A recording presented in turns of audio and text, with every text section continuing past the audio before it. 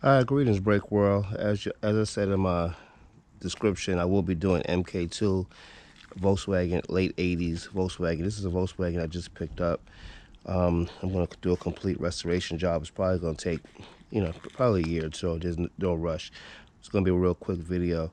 What I like about the car is it has the molding going all the way around on both sides. It's a, a five-speed automatic. The interior is in pretty good condition, as you can see for a car uh, 31 years old. Really surprised. The clear coat is a little damaged, but I'm going to repaint it anyway, so it's no big deal. So I'm just going to do a quick walk around. I took the battery out to recharge it. Oh, that's why the car's not running. There's no battery. You know, take the battery out. Um, as you can kind of see, it's a lot of debris up in the well over here. I'm gonna pull all that out today.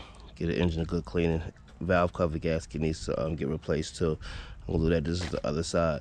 The top is actually in good condition, even though I have the um, top down, but it's in really good condition.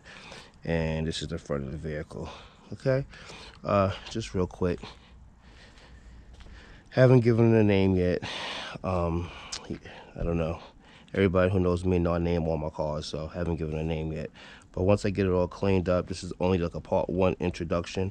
The, actually, the rims, I mean, you can see it, they actually came on the car. I've never really been a fan of American racing rims from that from the 80s, but hey, you know, came with the car, can't can't beat it. And once it's cleaned up, I think it's gonna look pretty good.